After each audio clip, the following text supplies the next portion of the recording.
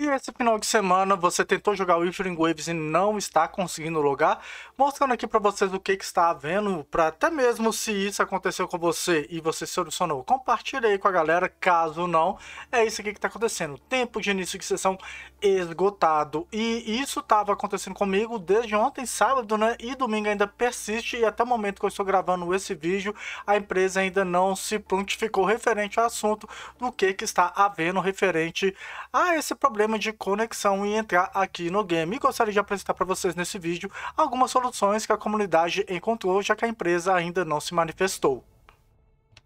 O mais estranho que eu reloguei aqui, né, como vocês podem ver, é que se eu mudar de servidor, né, que para quem não sabe eu utilizei duas contas, entrando aqui no servidor Ásia eu estou conseguindo logar normalmente. Então é um problema mais América, né, pelo que parece.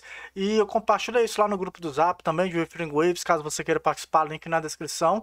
Talvez seja uma alternativa de consertar a sua conexão, né, renovando aí a sua conexão. Inclusive, uma das formas que eu consegui aqui é no meu próprio celular. Eu tentei no mesmo Wi-Fi conectar e estava dando esse problema, porém quando eu usei aí o meu pacote de dados móveis, eu consegui logar. Então já deixa essa cal aí se você tiver algum outro Wi-Fi para você utilizar ou caso você tenha aí no caso o pacote de dados, você poderá sair do Wi-Fi e usar aí o seu pacote de dados para ver se dá certo, beleza?